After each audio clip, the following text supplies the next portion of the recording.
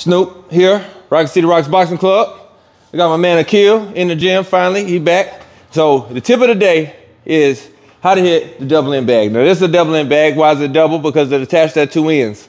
That's just what I always thought. If it's something different, hell, let me know in the comments. Like and subscribe, don't forget. So we got a tennis ball, we got a double end bag.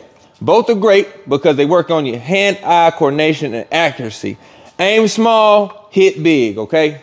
All right, so look, here's the thing. You wanna hit your, start with that jab, and it's all about the timing. So you see I wait until the ball comes right back to me, and I meet it, right? I'm here, and I'm real relaxed. I don't have to hit it hard.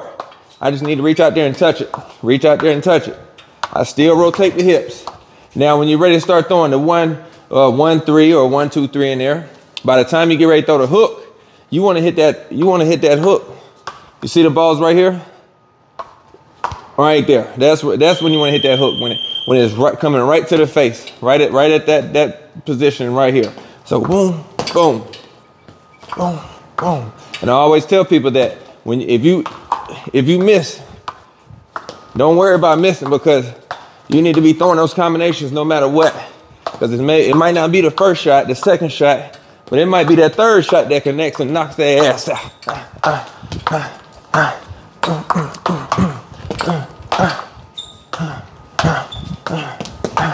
That's the tip of the day. Put some hands on something, work it, aim small, hit big. Great drill. Whether you're at the house, in the gym, use it.